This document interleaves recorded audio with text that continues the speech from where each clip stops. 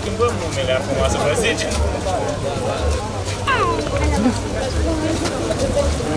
O să vrea cu ei acum.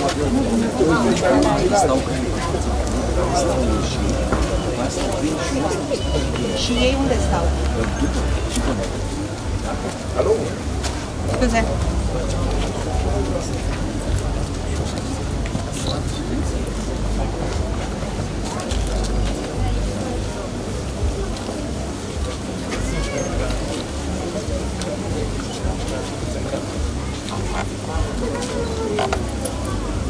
Eu zic să ne...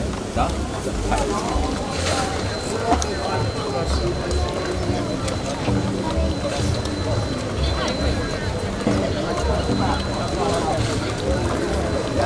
Fii atent aici. Uite luptătorii care au doborât urșul.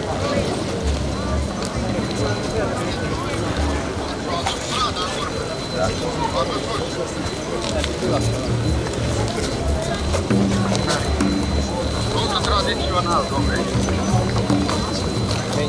De tradiție tradițională.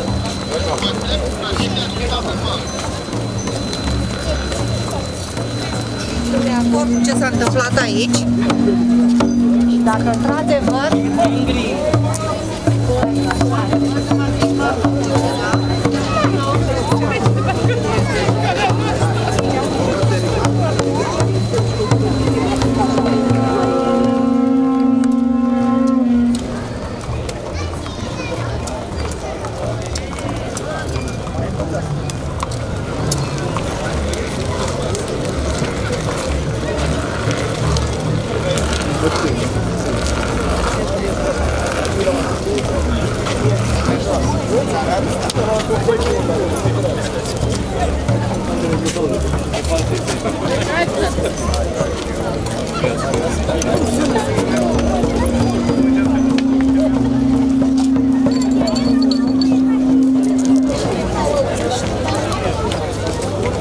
か。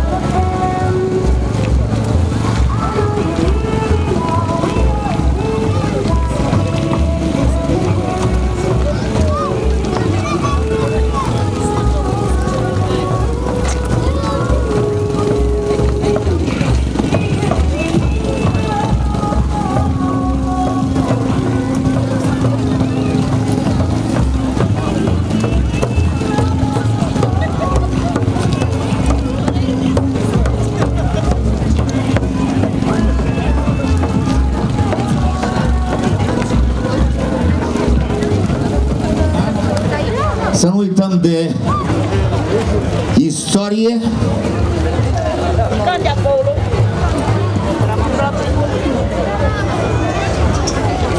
Bună ziua, doamnelor, domnilor! Bine ați venit la manifestările dedicate zilelor orașului Dărmănești. Avem un uh, festival inedit, Festivalul Uzilor și haideți să-i aplaudăm pe câțiva dintre cei care sunt prezenți pe scenă și care fac parte din tribul Uzilor. Este o poveste fantastică care stă la baza jocului ursului. De-aia jucăm noi dărmăneștenii ursul aici, în ultima zi din an, pentru că cu mai bine de o mie de ani în urmă, uzii au uh, lansat, să zic așa, această provocare comunității locale. Veți vedea câteva lucruri frumoase în seara asta și, în primul rând, aș vrea să salut invitații care sunt prezenți aici, de la Cluj, de la Oradea, de la Suceava și care joacă joacă rolul uzilor. Avem acele iurte acolo și tradiția și obiceiurile uzilor, care prin anul 980 au venit și au apărat această trecătoare de la Poiana Uzului.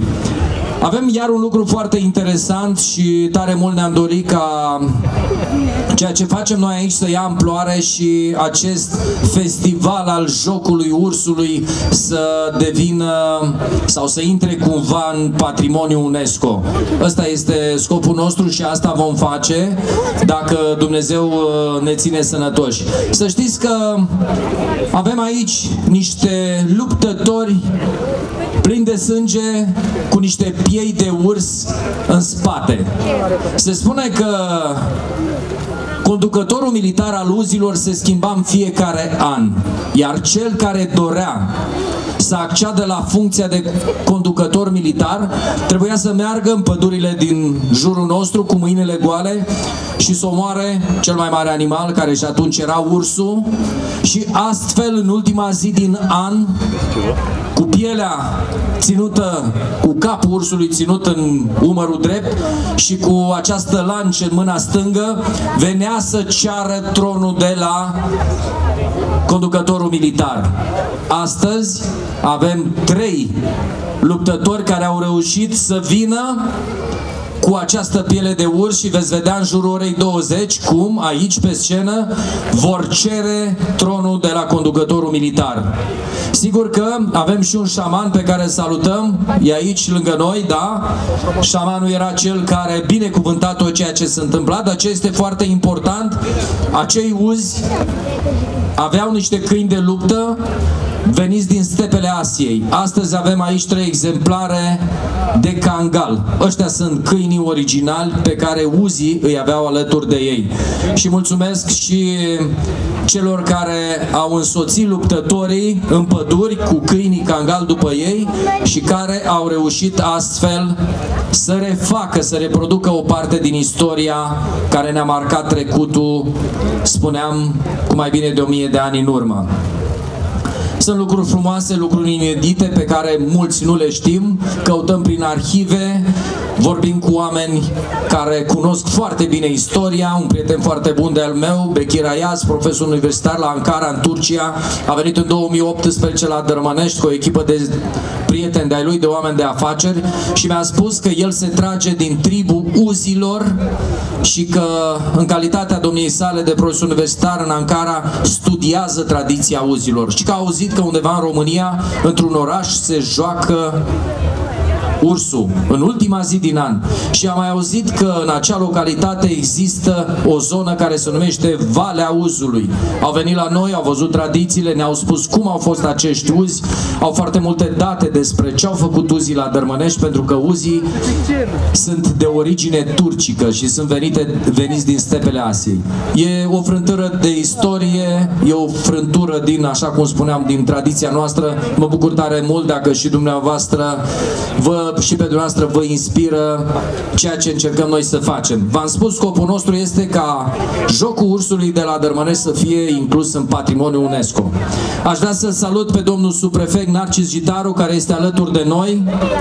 Salut, Narcis! Să-l salut pe Viorel Ilie, prietenul nostru de o viață. Salut, Viorele!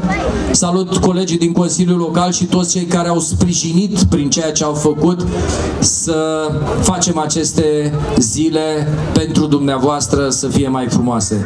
Vreau să-i salut și să le mulțumesc celor care astăzi sunt uzi adevărați aici alături de noi, aceste doamne, domnișoare frumoase, care sunt îmbrăcate exact așa cum erau uzii acum o mie de ani, acești domni extraordinar de frumoși cu lăncile lor, cu iurtele lor, cu obiceiurile lor, cu caii lor, cu șamanul lor, frântură din istoria noastră de acum 1000 de ani. Să știți că nimic nu este, uh, eu știu, uh, la uh, la întâmplare, ci fiecare lucru pe care îl vedeți, fiecare obicei pe care îl vedeți acolo este bine studiat și făcut așa cum se făcea odată.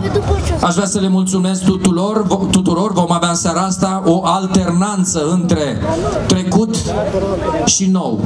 Veți vedea aici artiști de top care vor cânta și veți vedea și uh, uzii pe scenă cerând acel simbol militar, acel, eu știu, uh, topor de luptă de la conducătorul vechi, acel totem.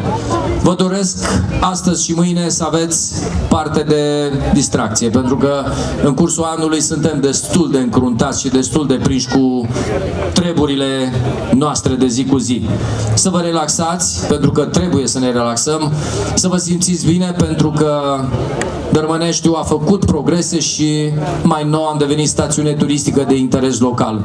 Trebuie prin obiceiurile noastre și tradițiile noastre să facem ca mulți români și chiar din afara graniților să vină să ne viziteze pentru că au ce vedea, suntem niște oameni fantastici, avem cel mai curat aer din toată zona, cea mai bună apă potabilă și cele mai, cele mai bune bucate. Avem motive să invităm să vină să ne vadă pentru că chiar avem ce spune. Domnule subprefect, dacă vrei, vreți să ne transmiteți un salut cu drag. Stimați dărmeneșteni, dragă domnule primar, domnule senator, dragilor uzi, bine v-am găsit la o nouă ediție a zilelor orașului Dărmănești și iată la un nou festival care scoate în evidență ceea ce e mai frumos în acest prea frumos Dărmănești. Când vorbești despre istoria unei comunități, vorbești despre oamenii locului. Dacă vorbești de o mie de ani în urmă, înseamnă că acest oraș a dănuit și va dăinui prin oameni. Ceea ce face domnul primar astăzi aici și va face cu siguranță și în viitor, demonstrează faptul că vrea să scoată din oameni ce e mai bun. Adică locurile pe care le aveți, tradițiile pe care le moșteniți și le promovați în continuare, bucatele pe care le promovați, sperăm să mâncăm și noi ceva bun astăzi, nu știu dacă dă domnul primar, vedem. Și tot așa, multe lucruri frumoase pe care dumneavoastră le aveți aici în prea frumosul oraș Dărmănești. Nu degeaba anul trecut, orașul stațiune turistică de interes național am spus eu național, sper să, să fie național, nu local, a primit și titlul de destinație turistică a anului 2022 pentru regiunea Moldovei. Anul acesta ar trebui să fie de interes național, nu pe zona Moldovei, pentru că ce aveți aici, prin acest festival, este nemai văzut. Vă felicit pentru tot ceea ce faceți, dragi dărmăneșteni, bucurați-vă de aceste două zile în care vă sărbătoriți în primul, uh, primul rând pe dumneavoastră, Fiți mândri de primarul și de Consiliul Local pe care îl aveți pentru că, vedeți, creează tot ce e mai frumos și mai bun pentru dumneavoastră, de la infrastructură, de la proiecte foarte frumoase, pe cultură, pe sport și așa mai departe. Și de ce nu încercați să vă distrați măcar pentru două zile, că după aceea intrăm în alte sărbători. Și dacă tot vin sărbătorile frumoase de acum, vă urez la mulți ani, să fiți sănătoși și să ne vedem cu bine și la anul și la alte evenimente, evenimente frumoase, precum cel de la sfârșitul anului, când din nou probabil o să-i vedem pe uzii noștri de aici de față. Felicitări, domnule primar! Mulțumesc, domnule subprefect. Îl rog și pe bunul meu prieten Viorel Ilie să ne spună câteva cuvinte. Bună ziua, bine v-am găsit în zi de sărbătoare. Mulțumesc, domnule primar. O bucurie să vin alături de dumneavoastră în fiecare an. O bucurie să văd cum renasc tradițiile noastre.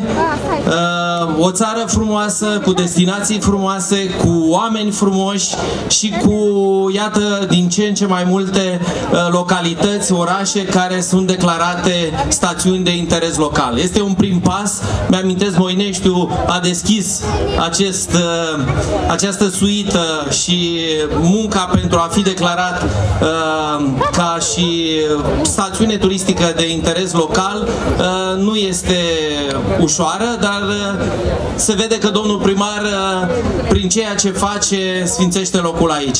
Eu vă felicit, vă doresc să fiți sănătoși, la mulți ani de ziua orașului, la mulți ani să ne vedem cu bine și cu gânduri bune și cu fapte frumoase.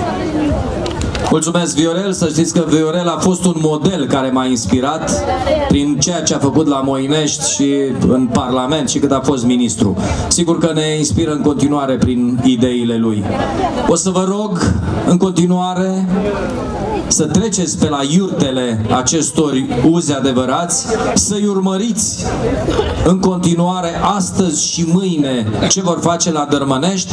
În jurul orei 20, cred 20 și un pic, vor urca pe scenă pentru a înscăuna noul comandant militar care va trebui să fie unul dintre cei trei care au reușit să atingă acest deziderat de a veni cu pielea ursului aici, iar la final, astăzi, în jurul orei 23, cu torțe aprinse, acești uzi se vor retrage din, uh, din uh, iurtele lor, salutându-ne pe noi cu această flacără aprinsă care înseamnă demnitate, putere, neînfricare și oameni care au coloana vertebrală dreaptă.